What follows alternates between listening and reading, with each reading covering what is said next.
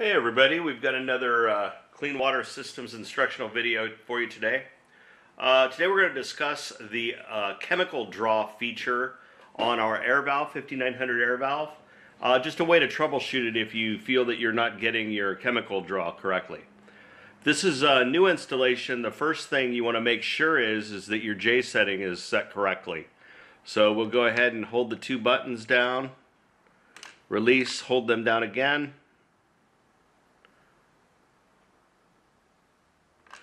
and we go into our programming. So this is your regen time 2A.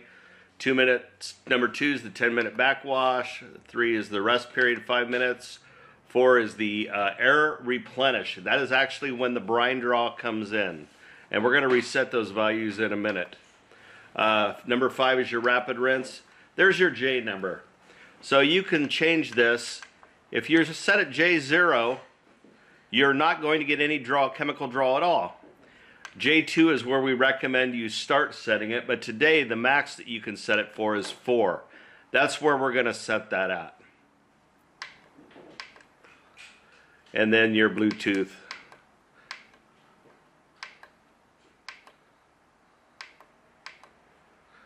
Okay, so we've got our J set it for for the max amount.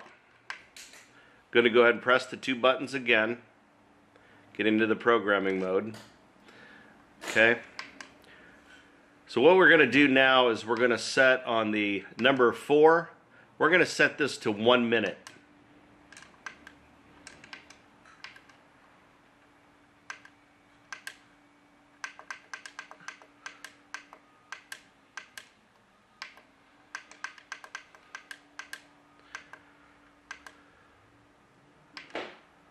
Okay, so that's set at one minute. Okay, so, and the J is set at four. That's the maximum amount that'll pull, that'll draw quite a bit of fluid in that one minute that we're in the fourth cycle, and we're gonna uh, demonstrate that in a minute. So 99% of the time, if your uh, chem draw is not working on a new installation, it's the J, J value setting is not set correctly. So now that we've got it at the max at J4, uh, the air replenish at one minute we're going to go ahead. We've attached a small hose to your actual chemical uh, introduction into the valve here. And I've got a glass of water. We're going to go ahead and run it through its re go into its regeneration cycle and see that it's pulling water. We do that by just holding the bottom button. Now we're into cycle one, the air release.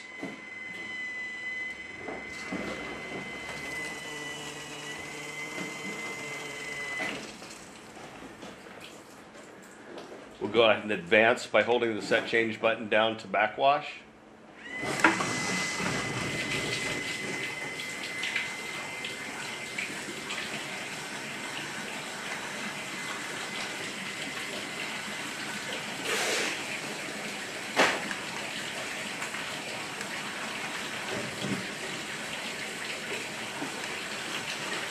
We're just cycling through the backwash steps.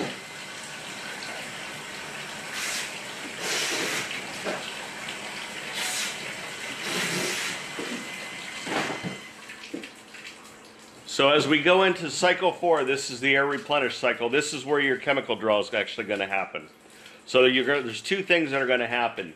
Your air replenish is going to, your volume of uh, water is going to drop in the tank. You're going to be pulling in air. You're also going to be pulling in the chemical.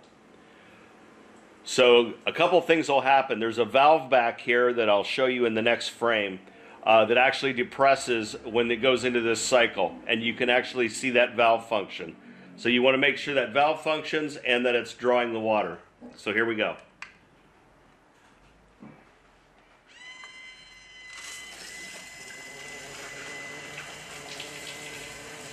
And as you can see, we have great chemical draw here. This is at its max. So our chem draw is working, functioning properly. I'm going to go ahead and advance this around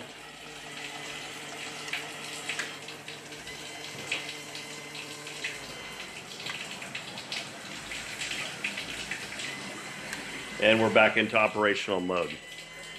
So that's the first thing you want to check. Make sure you're in the correct J setting. The second thing you want to make sure of is this brine valve back in here sometimes gets clogged up.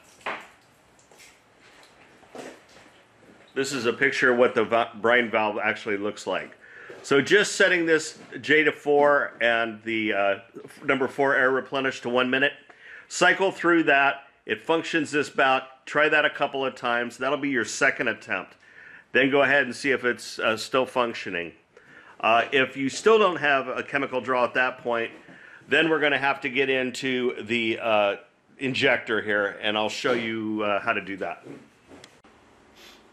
All right, I've spun the valve around. Uh, this here is your chemical draw or your brine valve, and this is the motor that actuates it. So I have gone ahead and regenerated. I'm ready to start cycle four. I just wanted to show you folks the actual valve driving this down and up so you could actually see it happen. So I'm going to go ahead now and go to the next regen. And as it goes into the air replenish, you can see the plunger going down. See it moving down? So it's now pushed it all the way down and it's in the it's in the open position and then it comes back up. So that when that's open, that's what you want to do is cycle that back and forth.